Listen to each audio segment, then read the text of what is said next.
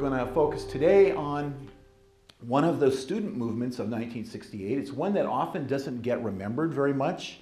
Most people know about the student protests at Columbia or Berkeley in the United States, and others even know that there were massive protests in Paris and in London, uh, also uh, on a variety of topics, but generally against the US war in Vietnam, which was raging in 1968.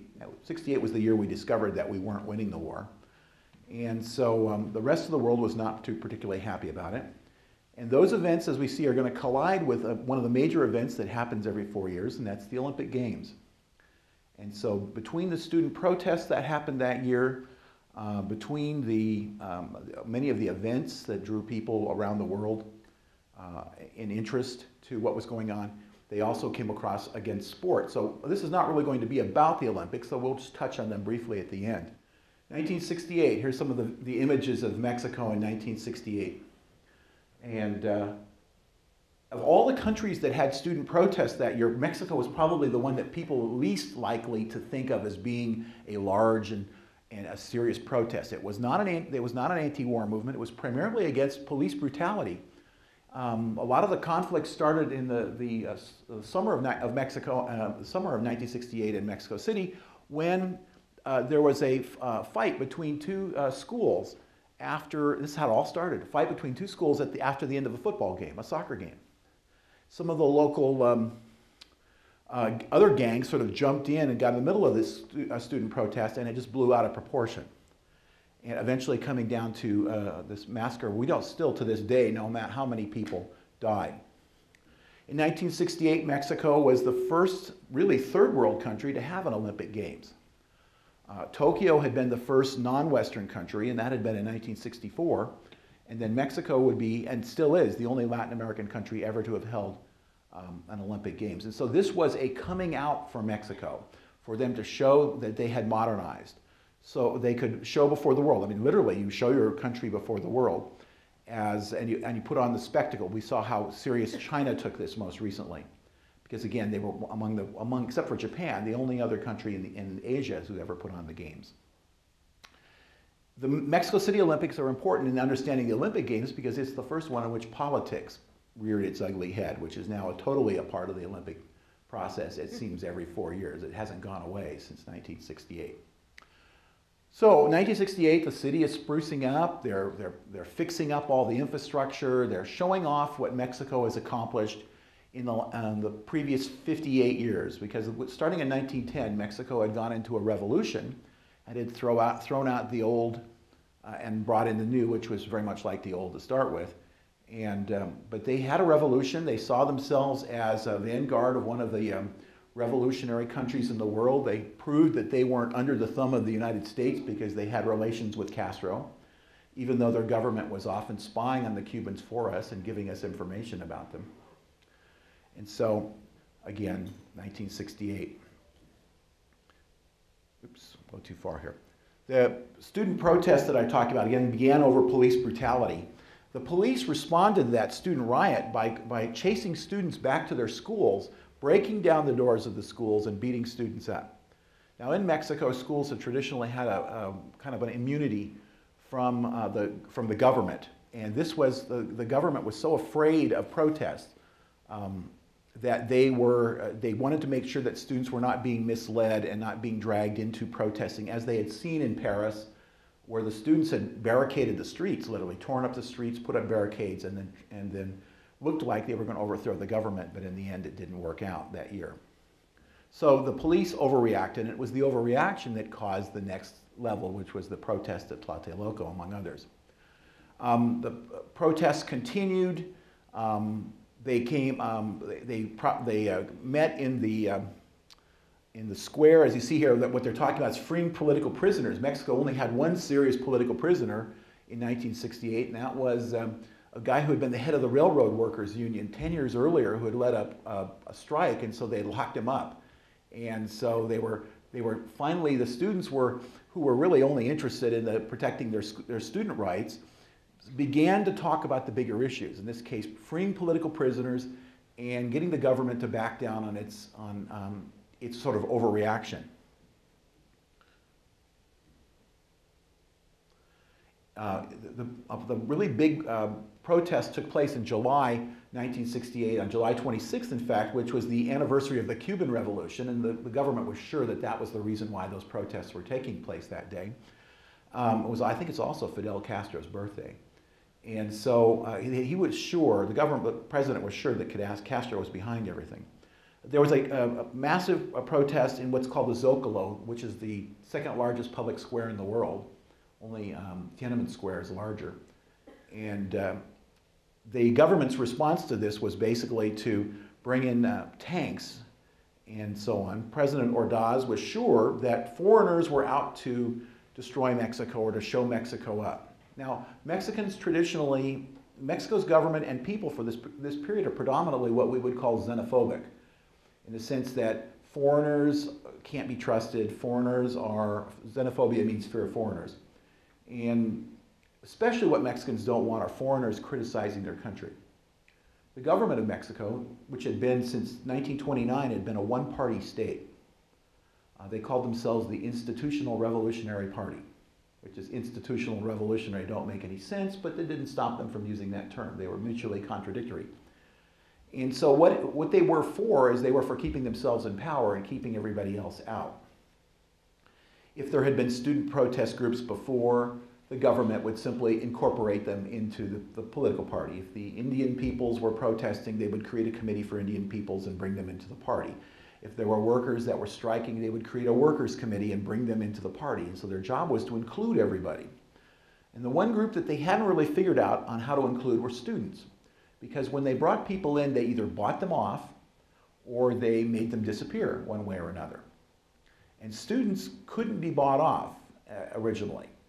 And uh, there are student groups today that are part of the political parties, but in those days, students were, were sort of feeling their oats, and they were, they were trying new things. And Mexico had a brand new middle class that had grown up since the 1940s. And not like the United States, a lot of young people who had a lot of money, and they were the first generation to go to college.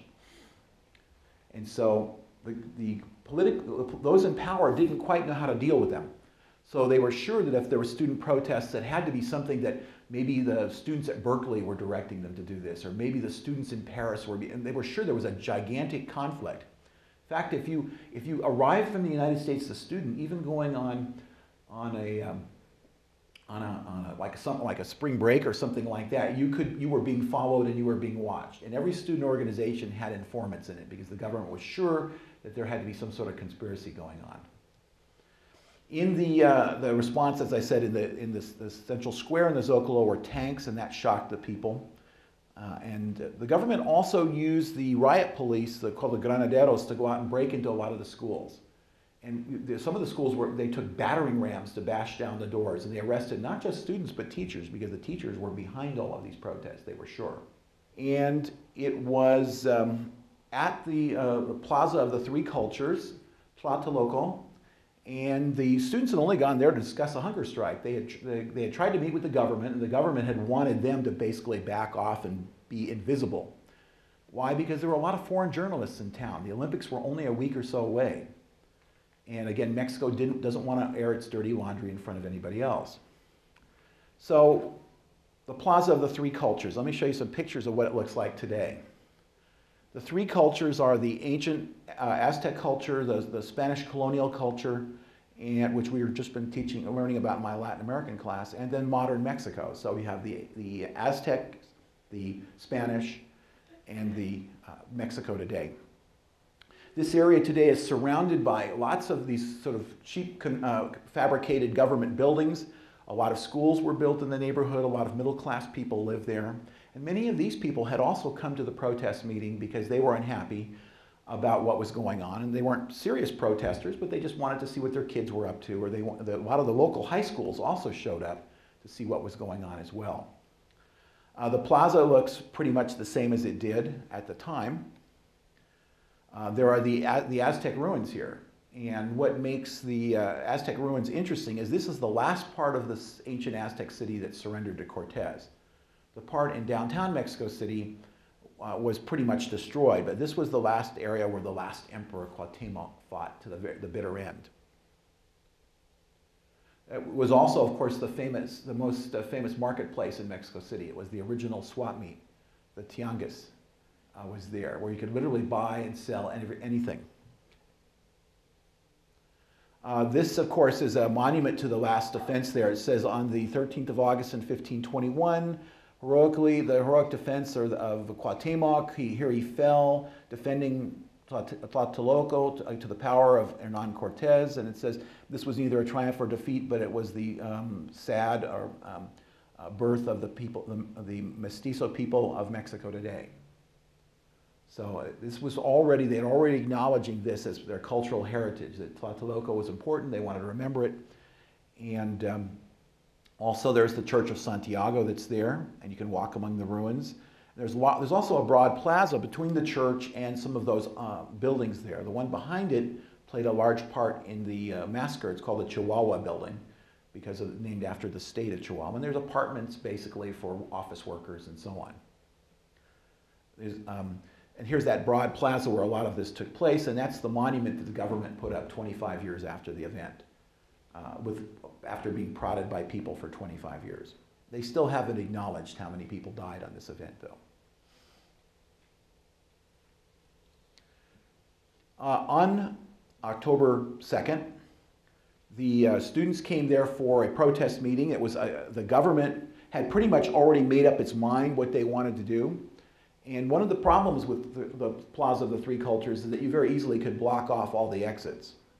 There is, today, of course, it's limited because you go there, if you go there to, to, view, the, um, to view the ruins, there's only really one way in or out.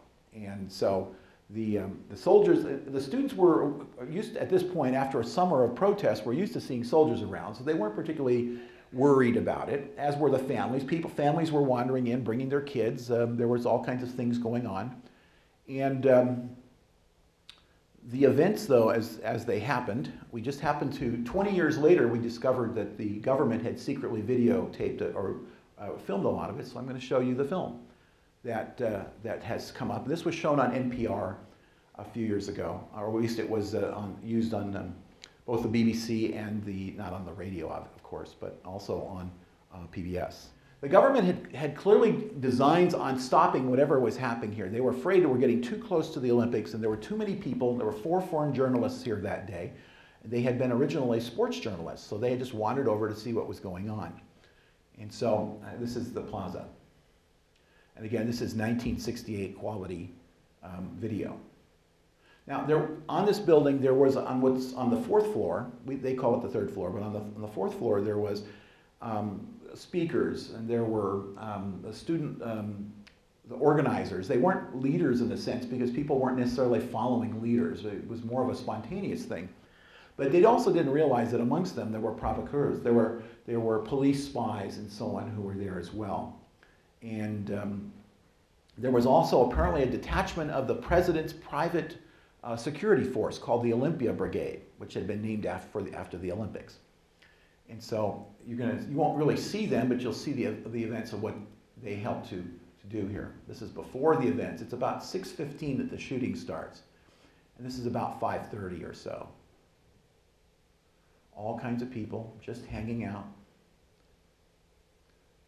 The military starts to arrive. That's at uh, 4.55.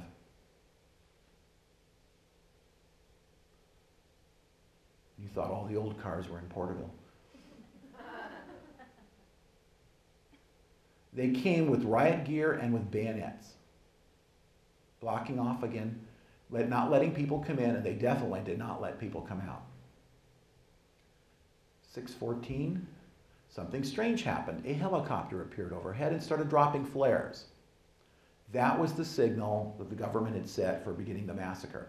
What happened was that from that building, uh, snipers, a um, num number of the buildings here, there were government snipers. And the first person they shot was one of the generals of the soldiers that were in the plaza. To, to, well, because they had to prove that the students were the ones who did this. And so they, they had these snipers sort of undercover. And uh, we, we learned about this much, much later. Students suspected this, but the proof came out many years later. Um, and they always said, well, we were fired on by the students. And of course, there were no students with no guns, but that didn't stop anybody. And so what happened is people are trying to leave and there's no place to go. And the military, is, this is their moment to come in and go after people. some of the, the, the people, this is the, where, the, where, the, where the student leaders were in this one um, uh, large window here, and you'll see they'll circle it. There were, at this point, all the people up there were, were captured, and government snipers started shooting from there so they could say that, well, it's again, it's the students who are doing the shooting. So you'll see uh, bullet flash, or uh, rifle flashes here in a minute.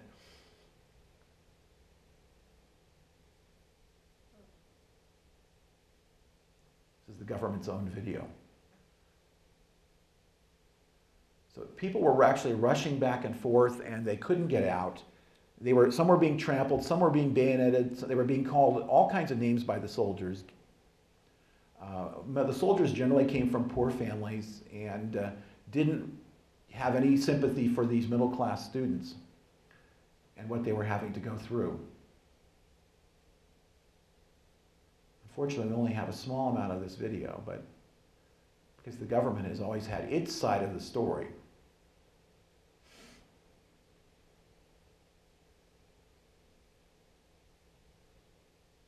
Today it would be somebody with a cell phone.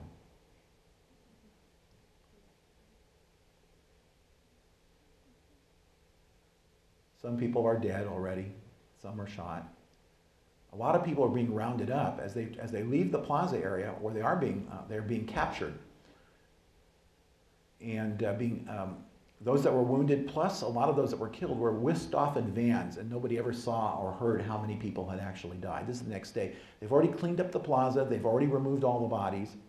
There's stories of what they did in, later on in Argentina and Chile, which they simply took bodies out to the ocean and dumped them, 100 miles off the ocean. Uh, they are what they are what called in Latin American history they're called the desaparecidos, the disappeared ones. A lot of families were not permitted to ask about their their students. They weren't allowed to ask about it because to ask about it meant that you could be rounded up and you were you were an anti-government supporter and stuff like this. What we do know is that, and here again, this is a, a classic photograph from the Museum of 1968 today. It shows the bullet holes, and there's bullets going up well, these were soldiers are shooting at the windows. Um, and not only did they go after the people there and the people that escaped, they went after, in the evening, they went to all of the homes of anybody around here and rousted everybody out looking for runaway students or people who had tried to escape them. And anybody who, was, who uh, had put them up or protected them, they also were rounded up and taken away.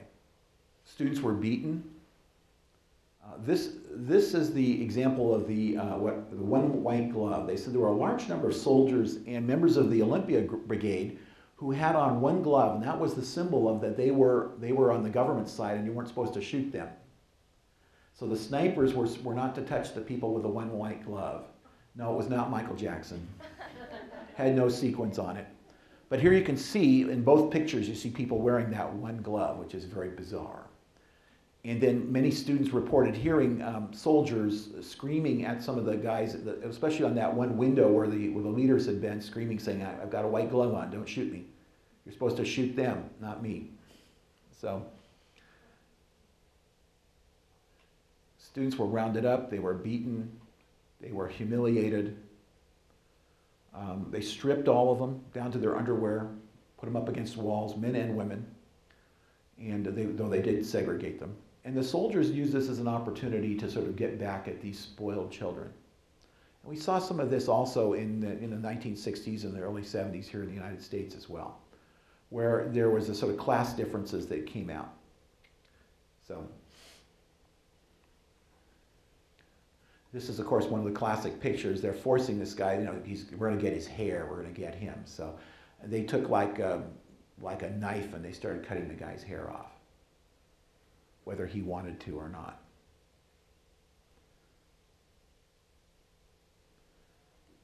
And, and many of the prisoners did, were, in fact, shot in front of the others, uh, at least according to the testimony of the people that were there. And they were, they were forced to stand like this until about midnight. Remember, they, they had been captured sometime after 6 o'clock, and they were held, made to stand like this for five, about five hours while they were beaten and punched and hit and kicked and so on. They also, there's these classic photographs of all these lineup of these dangerous radicals that we have here. See, they're generally middle-class students, and these are all the, a lot of the teachers and the lawyers and doctors in Mexico today. And they all remember all of this. Of course, the, uh, the, the newspapers, which are generally under the control of the government, are talking about it's their, their object is to frustrate the, the 19th Olympic Games, and so on in the top one here. And of course, the police were only responding to the violence. They didn't initiate it. Another classic one, and, our government uses this periodically foreign terrorists. Blame everything on foreign terrorists. Even a year later, the president was still talking, the president of Mexico was still talking about how it was, it was really a foreign plot to bring all these and embarrass Mexico in the eyes of the world. Actually, it was the government's actions that embarrassed Mexico. But they were so sure that it had to be foreigners behind this because Mexicans wouldn't rise up against their government and protest anything because they're a happy country. Um, again, again, the rounding, the rounding up of people in the neighborhood and uh, intimidation of others to inform on people as part and part parcel of the process. These are all pictures again from the museum that's now been set up on the 20th anniversary. They set one up at Tlatelolco to remember the massacre. Here's those dangerous radicals again. Just ordinary college kids of the time who were inspired by the same things that inspire people and new careers and so on. We don't know how many people actually died. The government said originally only three, then it was nine, then it's, I, on the monument, I think it's listed as 34 or something that they finally acknowledged. Um, the first reports out by the BBC said between three and 400. Uh, that one sports reporter who, who got the, the, the headline in, in London the next day on this, which of course is what Mexico didn't want, said over a thousand died. And uh, so most estimates today um, by fairly conservative people are at least 300 and well over 900 by those who are clear to see some sort of conspiracy. Again, some students after this were locked up for years, and there was there was um, efforts by the government to go after anybody who protested well into the 1970s. And so there was really no chance for people to bring the government to, to bear on this. Again, these same pictures and says assassins, what's happening in Mexico, and so on. These were from newspapers that were not under the government's control. Of course, the Olympics went on one week later. And in uh, the Mexico City Olympics was one of the greatest. When the U.S. had one of its greatest teams ever there. The, the Soviets were really competing for the first time, so it was seen as a great Cold War confrontation. Bob Beamon's famous long jump took place at that Olympics, the first Fosbury flop, and a number of these other kinds of things, if you're old enough to remember that. Um, some of you, of course, don't. Uh, but um, the, what Americans only remember is this and this for Americans sort of uh, got everything out of the way. This was the uh, for, this was the Black Power salute. Many black athletes leading up to the Olympics had actually threatened to boycott it. A, San Jose State College professor by the name of um, uh, Harry Edwards, he's now at Berkeley, and this is when it was still a state college and not a state university, had tried to organize a black boycott because Martin Luther King had been assassinated back in April. And um, and so, um, in protest against the um, racial policies and conditions in the United States, the other reason there was a massive pro- they, there had been a, a, potential massive protest is that the Olympic Committee wanted to include South Africa at the time, and South Africa is not the multiracial country that it is today. It was an apartheid country which kept black athletes from participating, whites and blacks legally separated. Under, with, under Mexico's protest, though, the Olympic Committee changed its mind and, allowed, and banned South Africa. It's the first time a country's been banned from the Olympics for political reasons. And, um, but, so the U.S. athletes came, but they still decided to do the protest during the, the playing of the Star Spangled Banner. And so that's what Americans remember. These guys were actually kicked off the team, and they were forced to go home early. They were not allowed to participate in any of the other ceremonies that came after this, including the, the final ceremonies. And uh, they were some of the greatest 400 meter uh, runners in the world at the time. As I said, they set up a meeting, uh, a museum finally in, uh, in, at Tlatelolco in one of the buildings where it all took, took place. And I toured there last summer, not this past summer, but last year, on the 40th anniversary. One of the most important um, um, exhibits is the fact that what people remembered about seeing uh, after the bodies had disappeared was that they literally saw the remnants of everybody who had been there, shoes especially, as a symbol of. Uh, it's also very similar to what I've seen at the Holocaust Museum in Washington D.C., where where it's the shoes of the of the victims that tell you that there were people here and that they suffered some horrible experience, and that we can't just ignore it. We can't just pretend it didn't happen, and um, so they do remember that. They also, uh, I said, erected this monument, which today you see families hang out and sit by, and maybe some understand what it's all about, maybe some don't. And they, in a few years, uh, uh, uh back in, uh, 2000, in 1999, they also did a reenactment of what it was like to try to um, encourage people to understand what had happened 21 years ago, or 31 years ago at that time. Um, one of the, the effects of this was that Mexicans never quite trusted their government again. Uh, up until this point, although they, many knew that the government, in fact, had um, was not the perfect government that it often said it was, people tended to focus on, well, I'm making money, the economy's good, uh, we're going through the Mexican miracle, Mexico City's being beautified, and all of this. And so the, the, the sort of the curtain of development kept people from really looking and, and, and arguing about whether their government was serving their needs or not.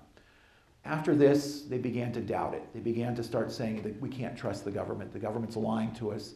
Everything they say is a lie. Every story they've told, including the ones they tell today, are lies about this. Um, they hoped this was the beginning of the end of the PRI as the, um, the one party rule in Mexico.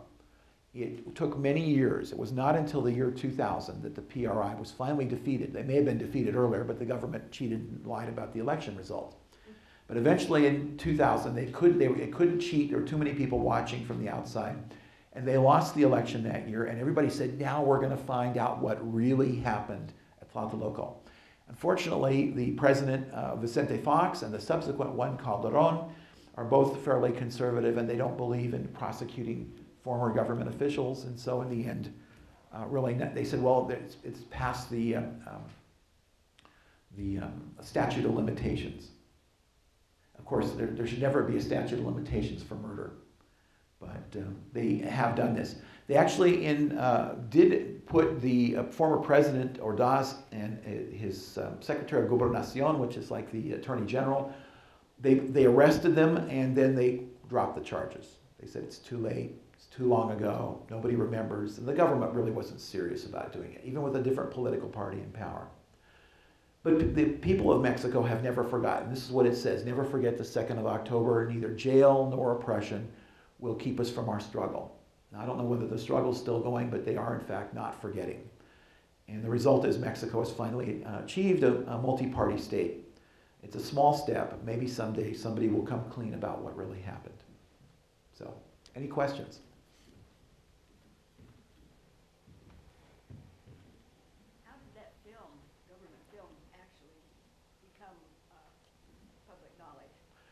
Part of it was that um, somebody talked about it and, and, and that it, it um, a journalist began to search for it and then somebody was somebody then um, opened it up and told the story about that.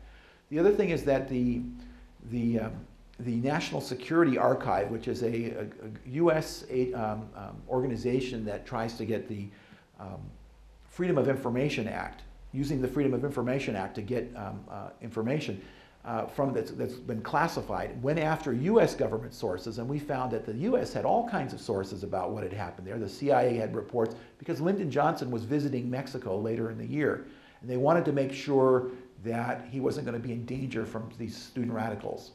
And most and, and when the U.S. when the um, the um, uh, these kinds of U.S. sources were declassified and, and put out there, and suddenly we said, "Oh, we've got this video over here." So there is a there is a site for this if you want to look it up that shows a lot of the declassified CIA documents. It's called the National Security Archive. If you do a search on the web, and you can find, among other things, the U.S. Um, uh, um, reports about what happened in Mexico. Between those reports and Proceso magazine, which published a lot of the Mexican files about this in the last couple of years. Uh, 2003, I think it was the 20, the 35th anniversary is when most of this was published. So somebody somewhere, though, had to people began to die off, and that was that people had been holding on to some of this stuff, and and they, you know, this, it began to slip out from the screen of, you know, we're going to obfuscate anybody finding out what really happened. So, other questions? Yes. You said they had a count of thirty-five bodies, and then somebody else had a count of hundreds of bodies? Well, the government's count was totally made up, whatever it was. I mean, they first said it was five, then they said it was nine, then they, they, they started saying, well, maybe it's only 20. In the end, enough people came forward and said, my son never came home. My, my daughter, I don't know where my daughter is. Some people were locked up in jail for years and nobody knew they were in jail. It's, it's, it's, as I said, they're literally known, it's, Mexico pioneered the idea of the desaparecidos, the, the, the disappeared ones. I mean, the Chilean government under Pinochet did the same thing in the, in the early 70s, as did the Argentine generals. So, anyway, we were just about running out of time here. We have time for one more question before letting you go. Anybody? All right, thank you much for coming.